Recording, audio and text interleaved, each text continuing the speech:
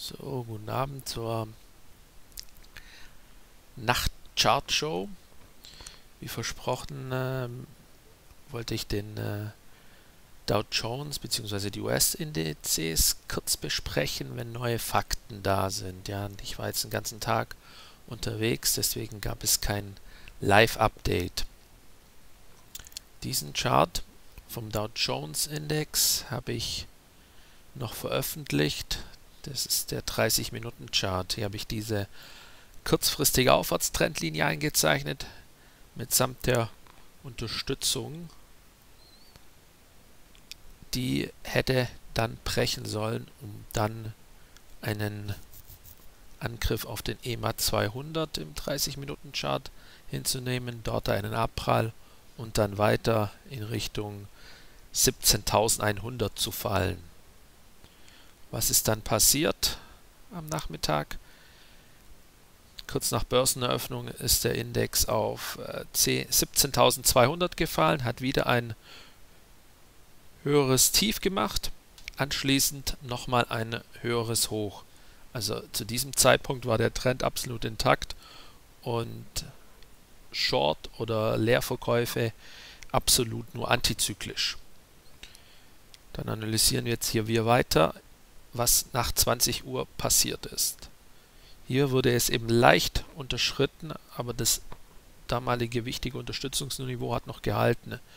Hier wurde eine Aufwärtsbewegung bis 21 Uhr circa bis 17.270 von den Marktteilnehmern erledigt.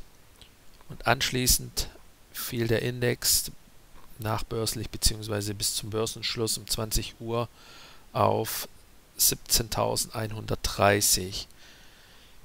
Wann wäre jetzt ein, äh, ein Leerverkauf sinnvoll gewesen? Ja. Also hier hat er im Prinzip nicht das neue Hoch gemacht. Hier ist er dann unter dieses Tief gefallen und hat eben auch gleichzeitig die Trendlinie gebrochen. Im Prinzip war es jetzt hier schwierig, weil wir, wenn oft die Signale sind eben auf Schlusskursbasis und dann wäre man hier frühst, frühestens äh, 17.172 eingestoppt gewesen. Um das nochmal hier nachzuvollziehen, hier wäre ein direkter Verkauf auch möglich gewesen. Also die Stop-Sell-Marke, wenn man sie hier direkt in den Markt gelegt hätte. Also zwischen 17.200 oder 17, äh, 17.190 und 17.210